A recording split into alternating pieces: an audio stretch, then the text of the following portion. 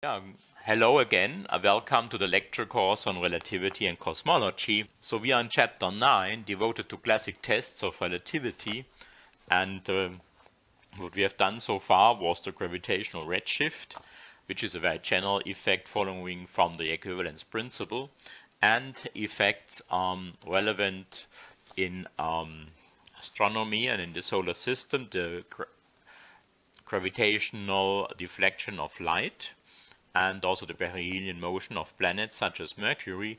Now in the remaining two sections, 9.6 and 9.7, I also described tests that were not strictly speaking classic in the sense that they were already um, tested very early, but they were calculated very early and they can be um, accommodated to the, to the, into the list of uh, classic tests. So 9.6 which is what we do today, is the geodetic precession. And 9.7 will be then the last one, which is um, a very exciting effect too, the Lense-Thirring effect. Now, what is a geodesic precession? Recall from our general discussion of differential geometry that if a vector is, par is parallelly transported around a closed curve, that in general it will not return into its initial direction. So if it starts here and there is curvature here in the region um, that the curve encircles, then you will have a precession depending on, on the on the curvature, on the Riemann tensor in fact. And um, this effect of course you can probe by a gyroscope uh, which defines a certain direction and you let it circle say around your earth and check um, whether the initial direction uh, or how the initial direction has changed and you compare this with the predictions of general relativity. In fact there is and I will I will um, briefly discuss this at the end um, an early calculation by de Sitter from the year 1916 already on this effect. This is why it's also called the de Sitter effect. And he did not, of course, have in mind um, a gyroscope circling around the Earth because space missions in 1916, I think no one, no one imagined uh, to have them. So at that time, of course, uh, Sitter was thinking about ast astronom astronomical applications, and you have natural gyroscope, namely you have the Earth-Moon orbit. Mm -hmm. So um, the Earth-Moon orbit.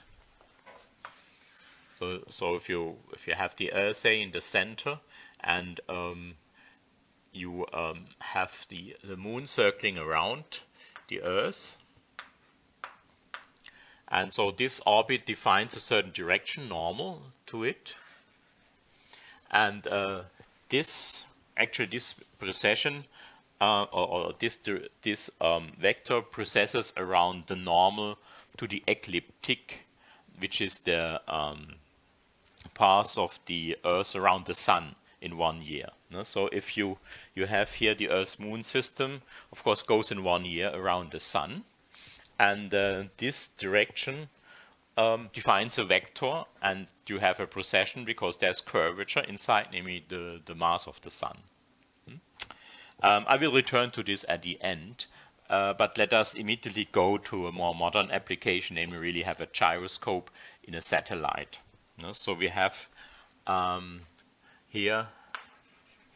So we consider, uh, for simplicity, this is because uh, for, for the calculation, but of course calculations exist for general orbit, uh, for circular orbit, which is of course a geodesic, I mean it's a satellite in free fall that goes around the Earth, no? in free fall like the International Space Station, whatever, so they are geodesic motion uh, of a gyroscope in the in the equatorial plane, which is um, theta equals constant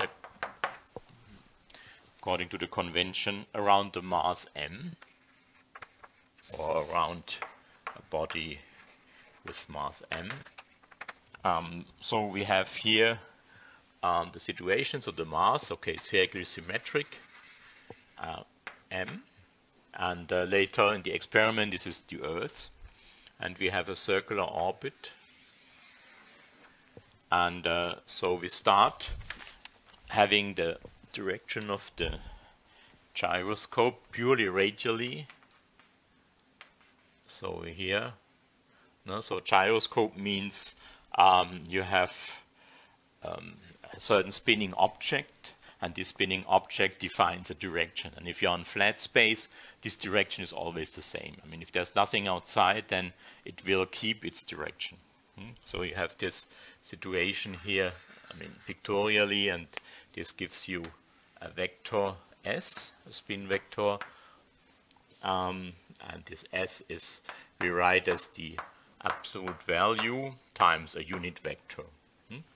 So this would keep its direction fixed in flat space-time, but if you have this in curved space-time and you orbit once, then it will not uh, return to its initial direction. So if this is the start, um, okay, it will, and this is what we calculate, point to a different direction, so start, end, and uh, say the motion here of the satellite is around this direction. So you start radially without mass. You it, it would just be on the same direction. So it would come back here. But uh, with the mass, of course, we have to calculate the effect, also whether it's here or here. Then you have a precession. It turns out that it will be a forward precession. Um, of course, we have to calculate this um, this four-dimensional vector. So this is a three-dimensional vector. So we have to generalize this to a four-dimensional vector. So we have a four-dimensional four-dimensional spin vector. Well, it's a, we call it spin, but it's not a quantum mechanical spin. It's just a spin of a gyroscope spin vector as mu. And um, we assume that in the local rest frame in the absence of forces, we have the following equation, local rest frame. We have d over dt um, s of t equals 0. And uh, this s mu, it should return to having, I mean, in the rest frame, the component 0 and then the s vector. So should reduce to um, 0s in the rest frame.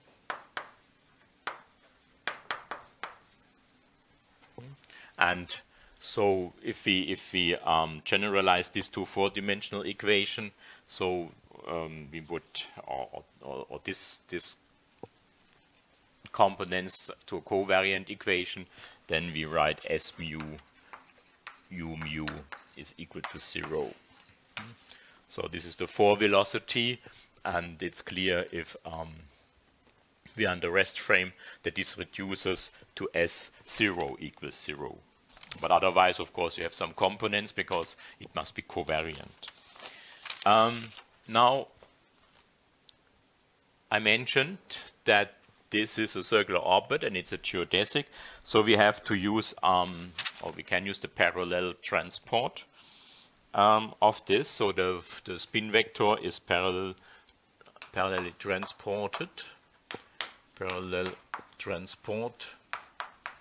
So we have um, d s mu over ds is equal to zero. Now recall this from uh, the chapter uh, 5, uh, the differential geometry, that this is the absolute derivative, um, and it's, it vanishes for uh, um, parallel transport. Now, this you can write out in terms of um, ordinary derivatives and the Christoffel symbol. So we have d s mu over ds plus gamma mu, nu lambda s nu u lambda equal to zero. No? And this four velocity in that particular case has only two components because the component the theta component um, vanishes because theta is constant and equal to pi over 2. And also the radial component vanishes because r is fixed. No? So u lambda, which is dx lambda over ds, is here, I mean dt over ds 0, 0 and d phi over ds. No? Because this is the radial coordinate and, and r is constant and this is the theta coordinate and theta is also constant. So the four velocity has no components in these two directions. But of course it has components in the t and the phi direction. So that's that that's what we have to address. Um, I should mention that here in this section I took much of the material from a book that I can recommend. Uh, and this is the book by Ciuffolini and Wheeler called uh, Gravitation and Inertia from the 1990s.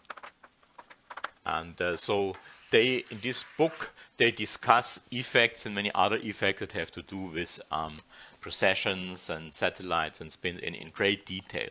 No? So um, I will not do all the algebraic steps in the calculation. You can fill them out easily yourself, or you may wish to really um, sit down with that book and read the corresponding chapter. It's very nicely written and easily acceptable, uh, accessible in my opinion. Yeah, so that's what we have to uh, discuss in detail. Now, of course, um, the input is are here the Christoffel symbols.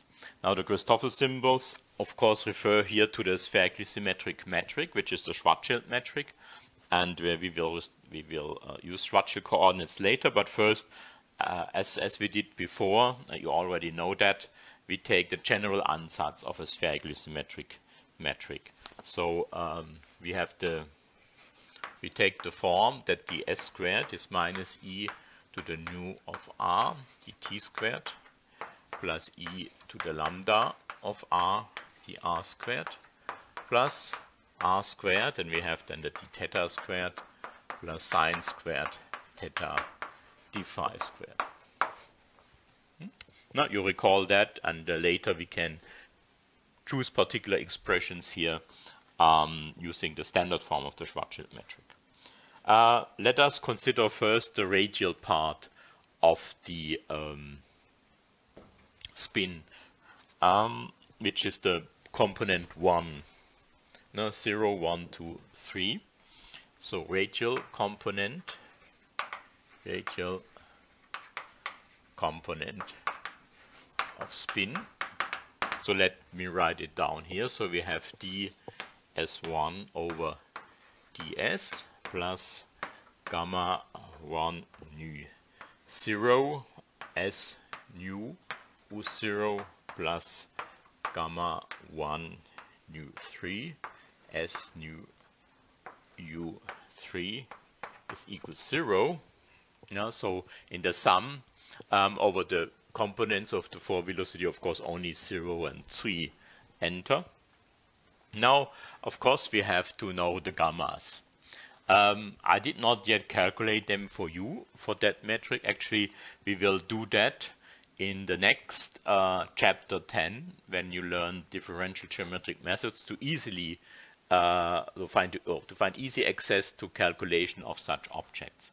So um, if you just wait uh, two weeks or one week, um, you will learn how to calculate them, or you can do it yourself with coordinates, which is a bit lengthy. So I just rely on those expressions for the gamma here. So I do not calculate them here.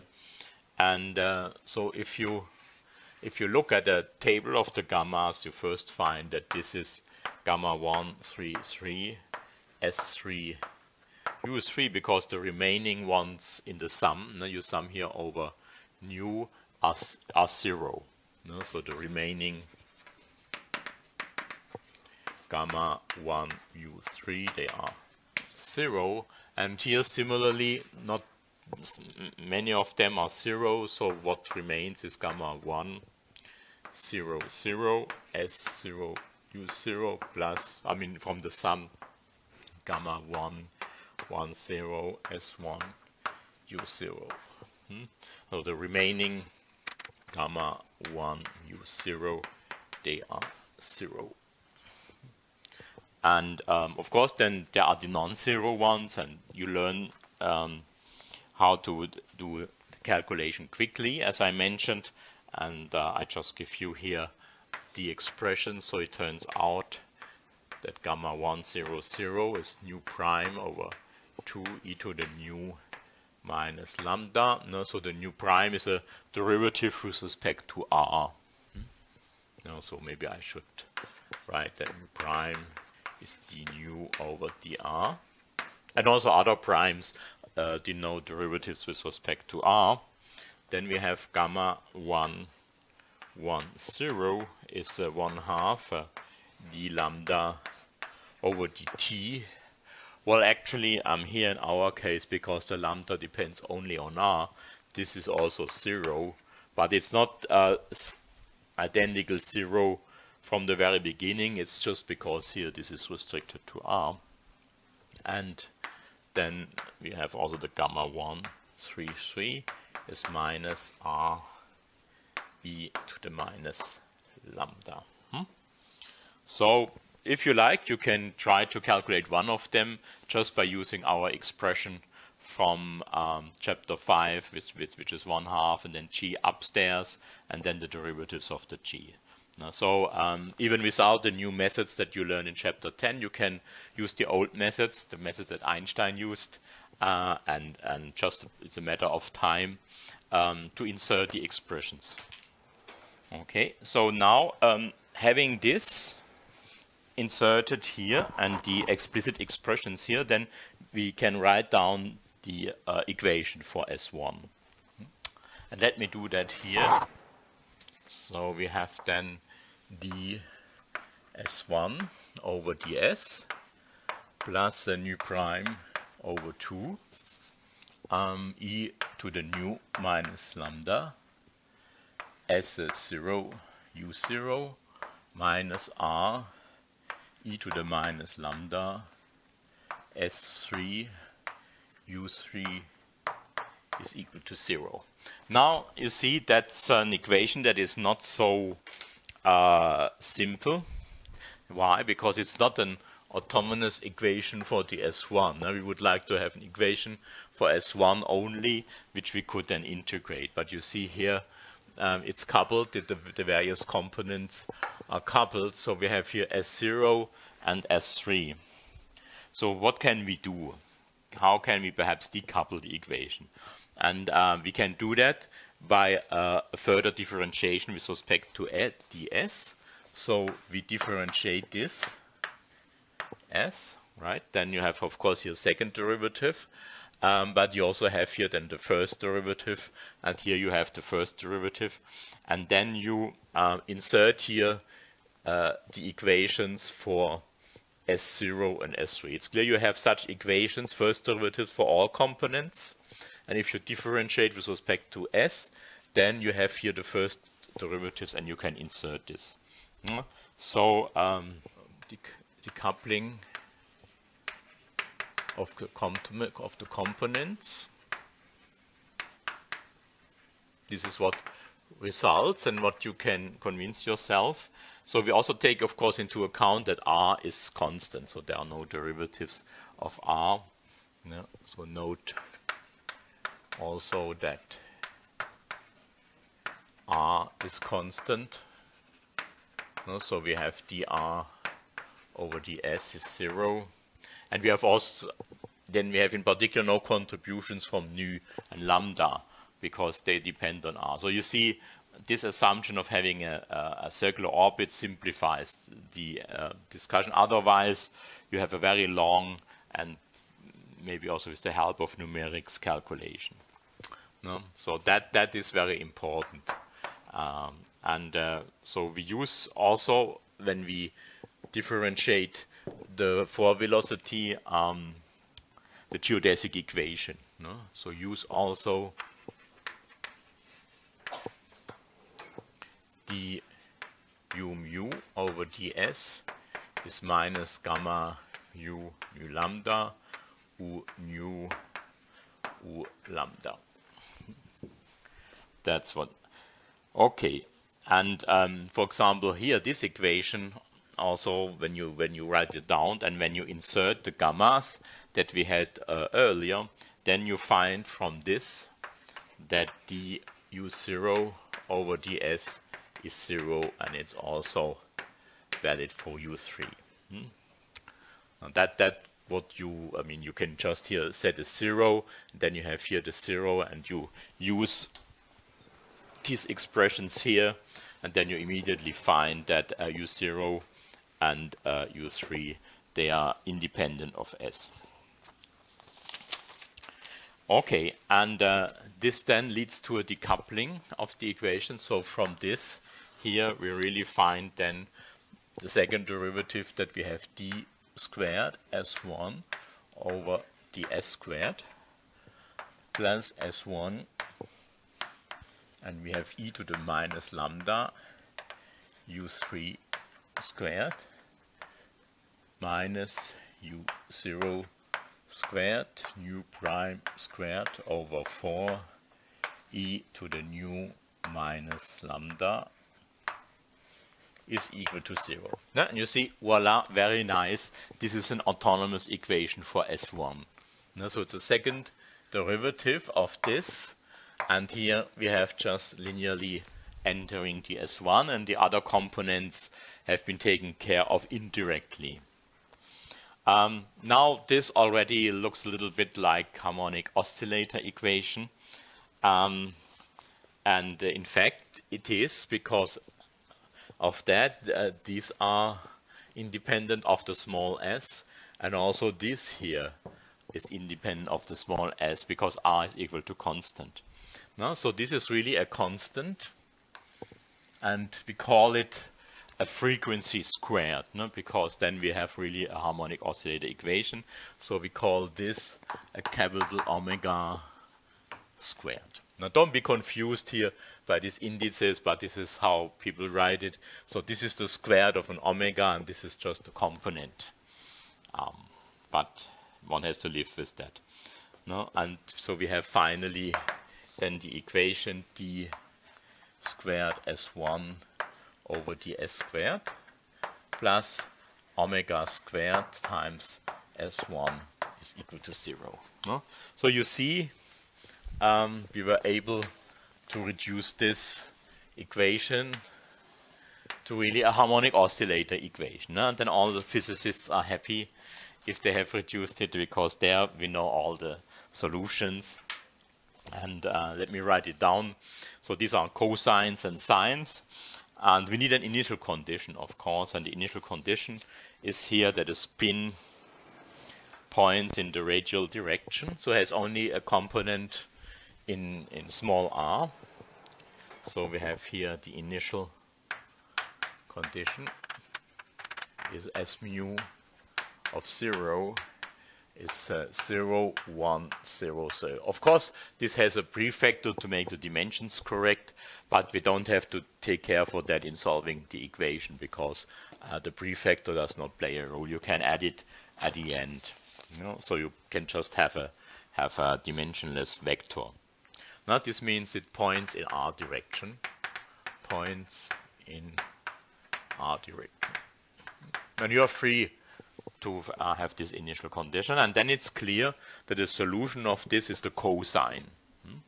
And then we have here that S1 of S is the cosine of omega times S, no?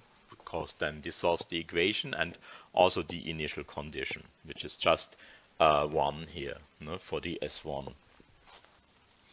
And um, I can write down the omega explicitly, so which is uh, the square root of that, and I, I write it in the following form, putting the e to the lambda outside, uh, so it gives e to the minus lambda over 2, and then we have a square root of u3 squared minus u0 squared times nu prime squared e to the nu over 4. Hmm? Of course, this, this, depends on the small r, that's clear, but r is constant. But of course, if the satellite is a different radius, then of course omega is different. Now we have so far kept uh, nu and lambda general. Let us in the following now go to uh, standard Schwarzschild coordinates and um, write as follows. So we have a standard Schwarzschild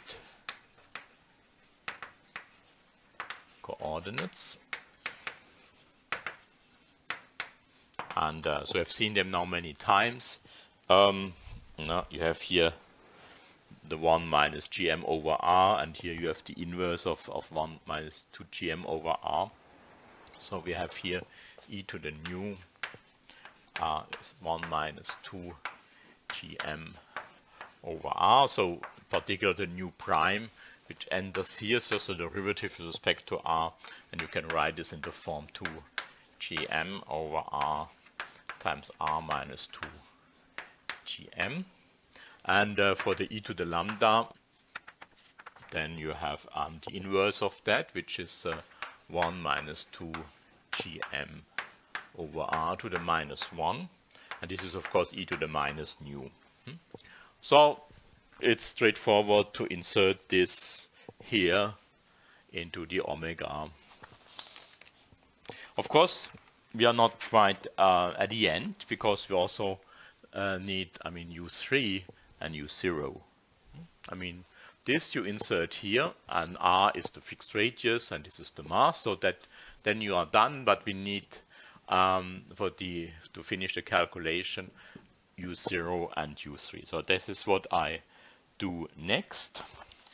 So we have this equation for S1 um, with the initial condition of pointing it in R direction, giving that solution, and the omega um, turn is given by this expression.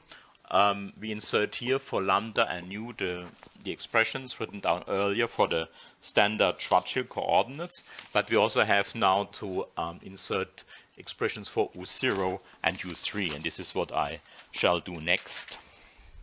So we need also need also U3, which is uh, d phi over ds, if you recall, and also U0, which is dt over ds, um, but which you can write as dt over d phi and d phi over ds. No? So um, you can relate this also to d phi over ds, but of course we have to know what, what this is. Let me recall the following. I mean, for this you have to remember the effective potential in the Schwarzschild metric. R that for this situation looks like that.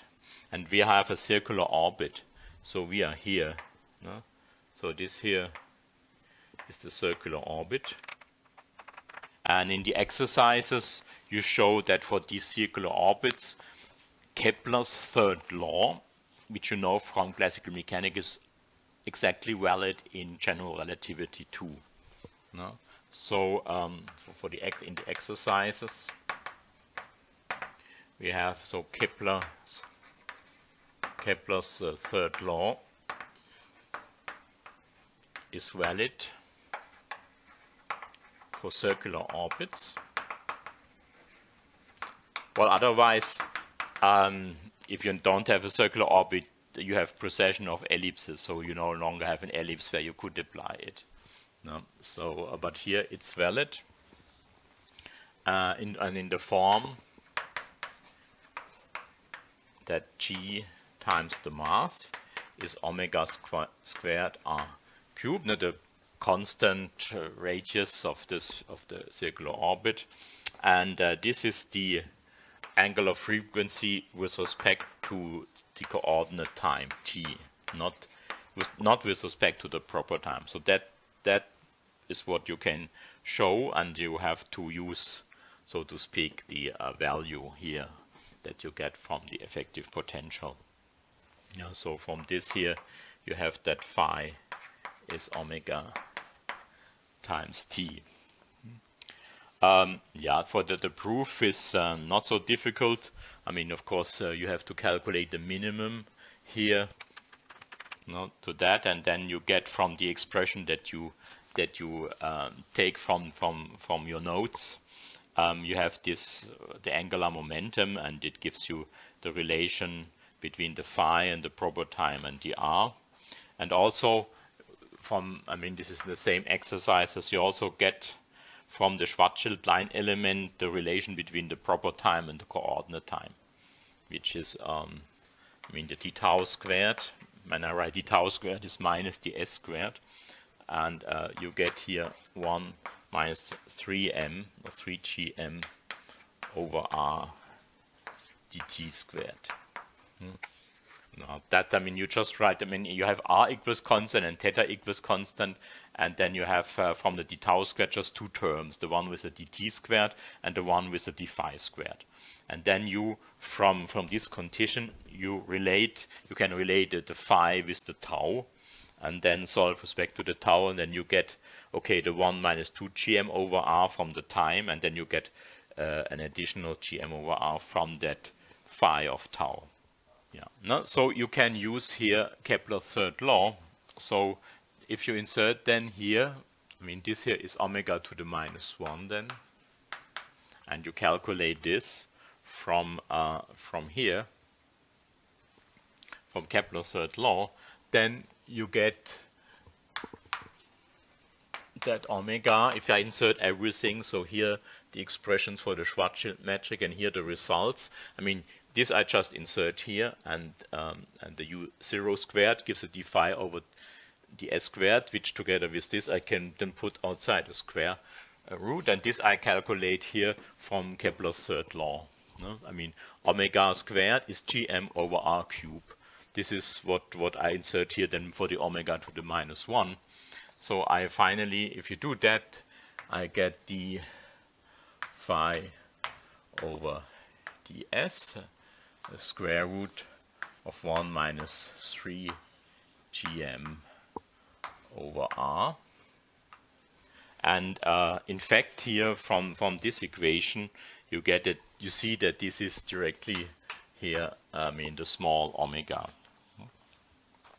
Now the small omega which is d phi over dt and it's d phi over ds times ds over dt or d tau over dt and this is what you get from here.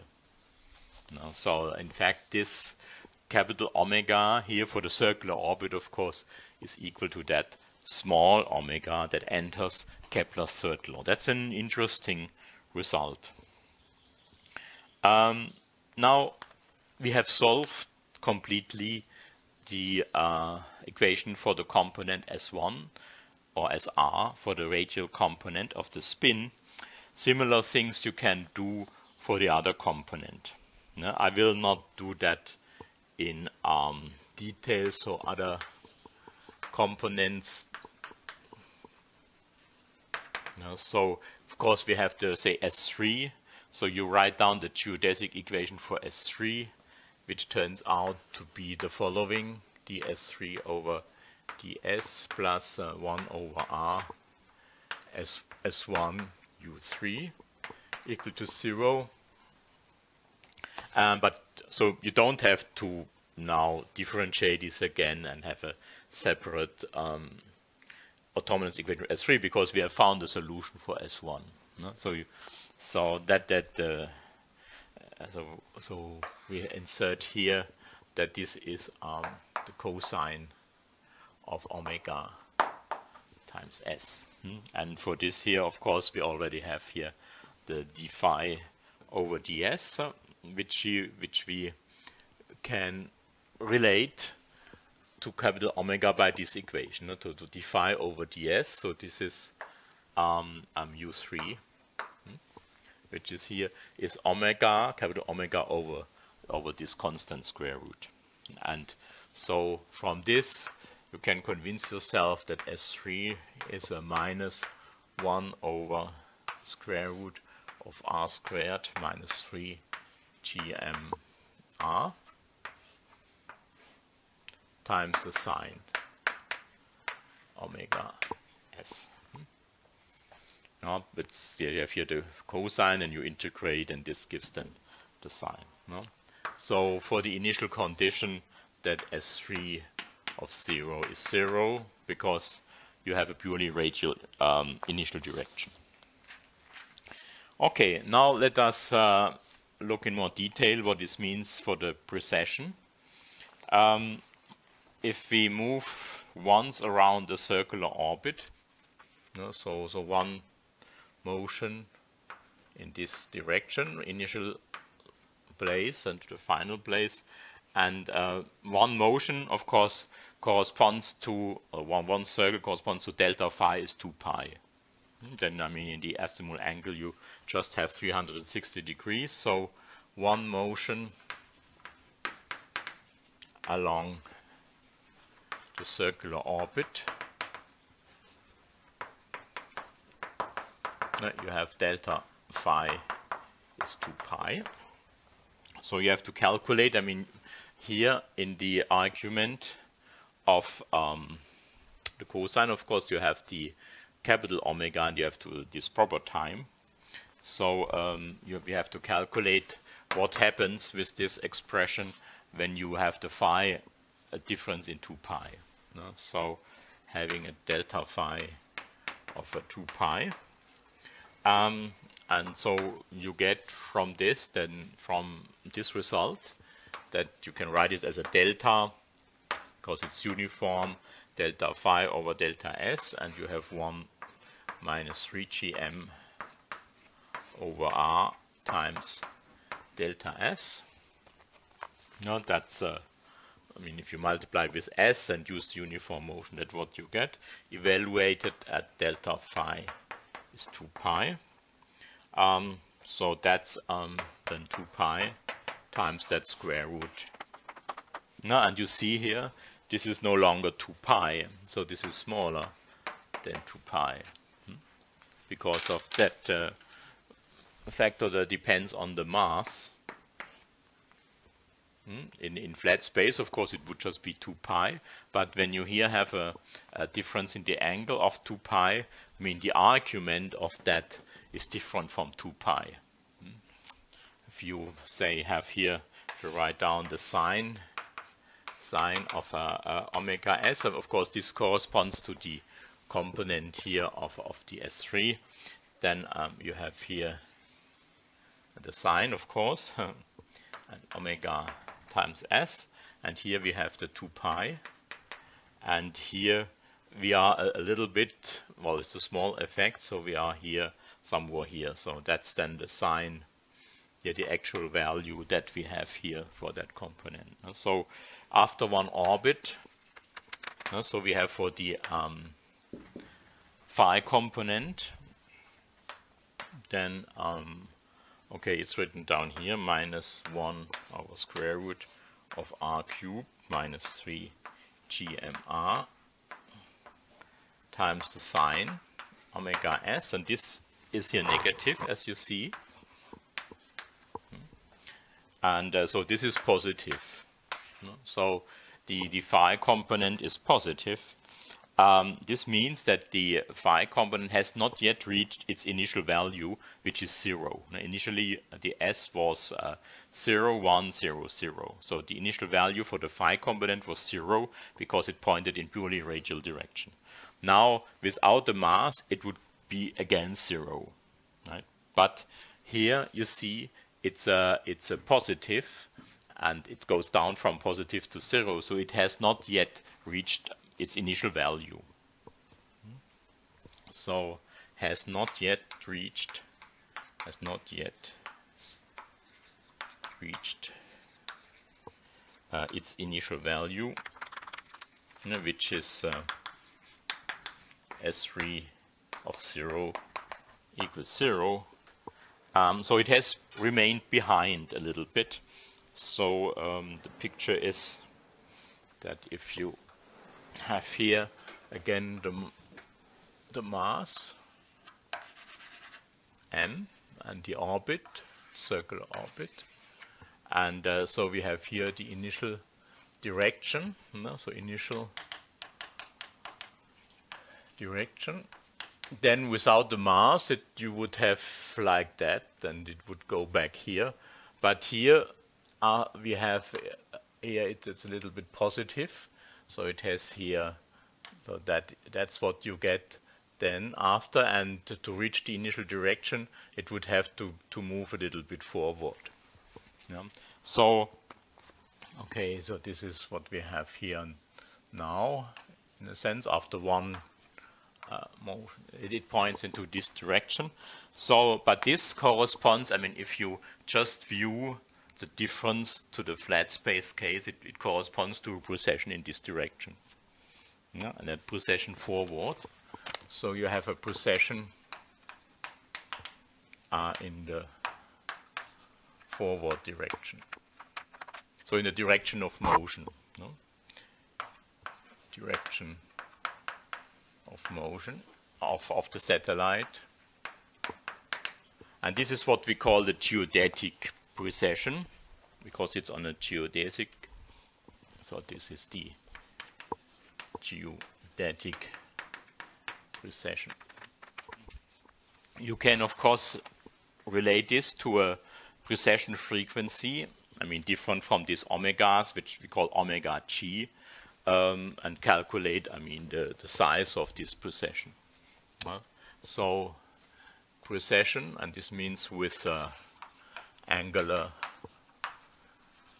angular velocity.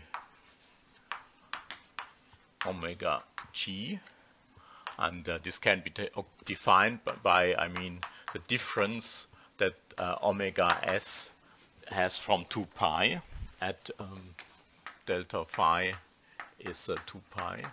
And we define this to be 2 pi over the small omega times the times this precession omega g you know. Okay this is the t period. And if you in, uh, insert here the omega s um, which we have here calculated oh, it's here that expression you find that um, this is 2 pi times 1 minus square root of 1 minus 3 gm over r. Hmm? Okay, this is a very small quantity uh, here if you I mean, uh, around the Earth, say, or any other object in the solar system, so you can expand the square root, and uh, this, this gives 3 pi gm over r. So from this, I mean, you have to divide by, by this factor, you get then that omega g is omega times 1 minus square root of 1 minus 3 gm over r, which is of approximately omega times uh, 3 gm over 2r. And the small omega you can again replace from Kepler's third law, which is written down here. So um, this here is um, square root of gm over r cube. So that if I insert now all the constants, even the speed of light, so we have then omega g, at least in this limit, is then roughly speed of light times square root of uh, gm over c squared r cube times 3 gm over 2r c squared. Now, so that's the final result that you have for the geodetic precession in um, around the spherical symmetric mass on a circular orbit. And of course, you can do the calculation for any orbit. It just becomes much, much, much more complicated uh, for the algebra, but not from the principal point of view. It's the same type of calculation. Um, I mentioned at the beginning this um, nice book by uh, and uh, Wheeler, and they have much more information on that. So they find, uh, or they give here the, the following general um, expression for the geodesic precession for general motion. So general motion. So see, for example, the book by Ciufolini and Wheeler. And so they write it in the following form. So ds over ds. I mean the change with proper time of the spin 3 vector. And of course, uh, this is the general definition of the precession from mechanics, omega g times s. And they, they give the following expression for omega g minus 3 half v cross um, nabla phi, and this is the gravitational potential. So if you approximately set this to the Newtonian value, which you can do here, then you have 3 minus 3 gm over 2 r squared. Then we have v cross r No? So then you see this is orthogonal to the orbital plane, no? because I mean this is the radial vector and this is the motion, and then this um, cross product is orthogonal to that. So we have this is orthogonal to orbital plane. Uh, we, you can see that for the circular motion that we recover our results.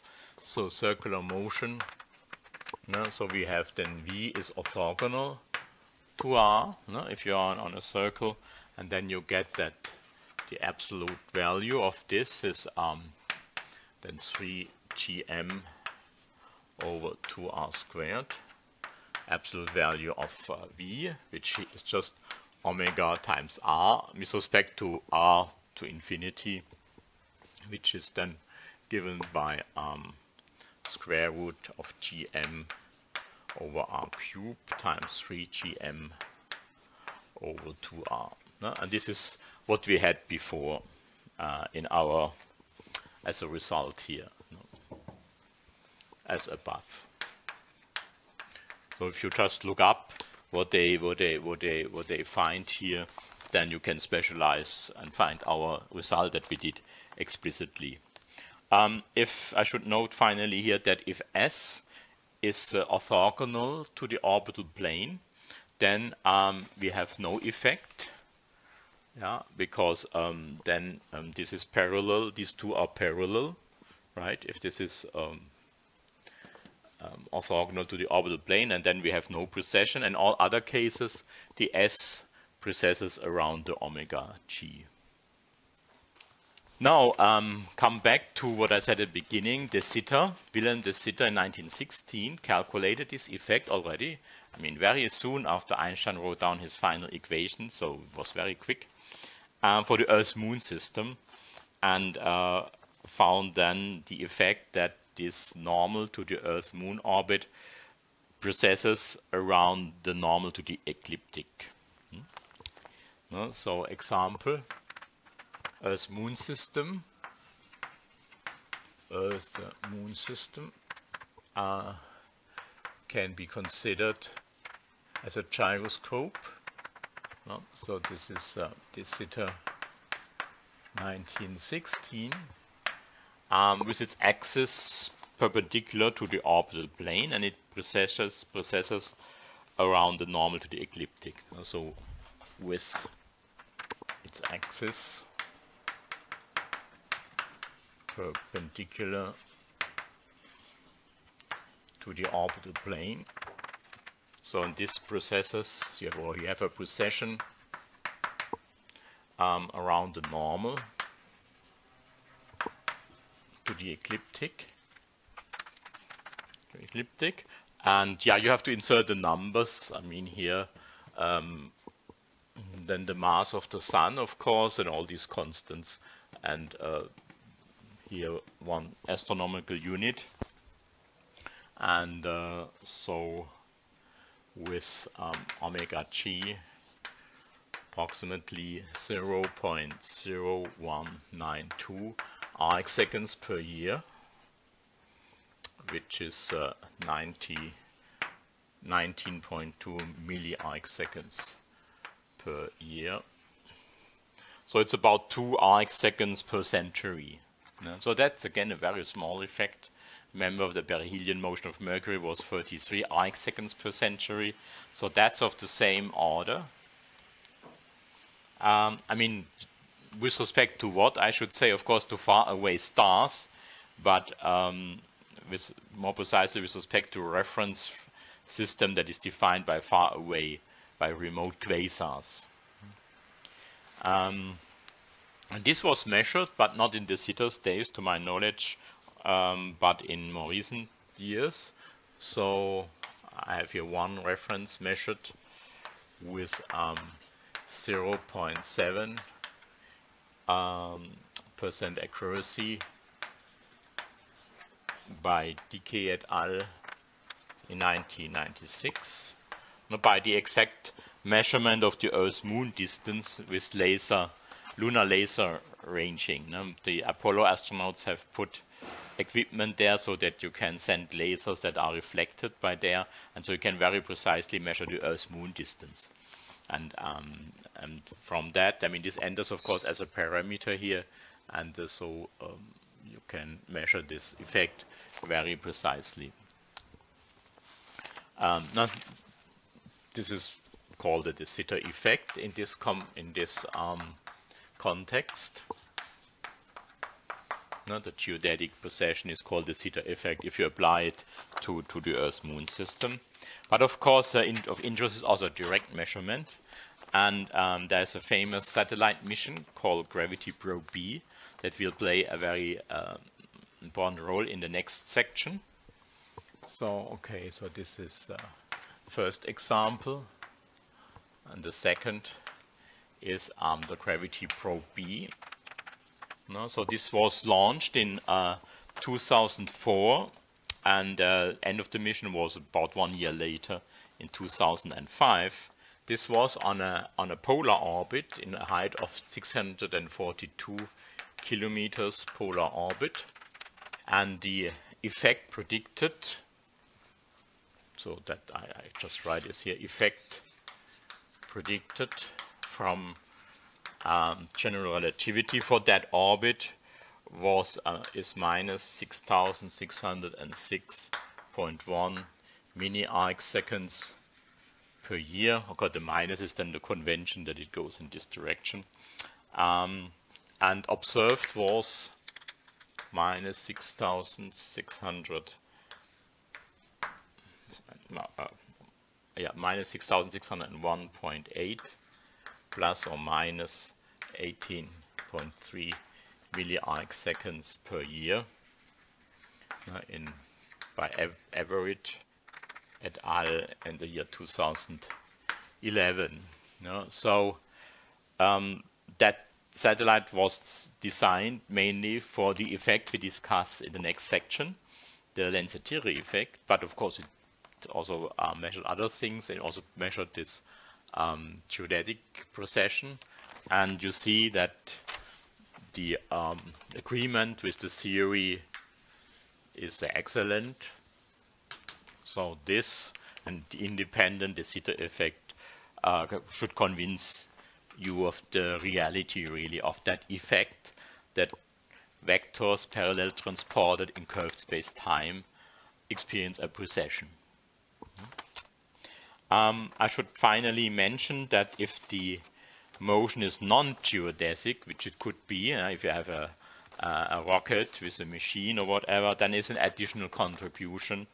Um, and this additional contribution comes from the general relativistic version of what is called a Thomas precession. The Thomas precession, perhaps you know from special relativity, and it um, has the origin origin is a non-commutativity of, of Lorentz transformations if they are not in the same direction. If you have, if you remember special relativity, if you have a, a boost here and a boost here, you can replace it by a boost in the same direction.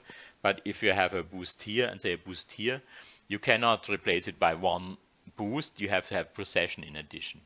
And this is called a Thomas precession. And um, in, in, in, general relativity, you also have have um, this. So it uh, also of the form um, v cross a, so the velocity, 3 velocity cross the 3 acceleration. Um, all of this has been discussed and calculated in literature, and uh, although we do not need it here, so for those of you who are very much interested in this uh, type of effects, I can again draw your attention to this book or maybe some other other sources, but this book explains it very nicely. So you can use it, of course, again as a test of relativity by including this parameter gamma uh, and generalize the, the Schwarzschild metric. But everything is in agreement with, with the Schwarzschild metric and with general relativity.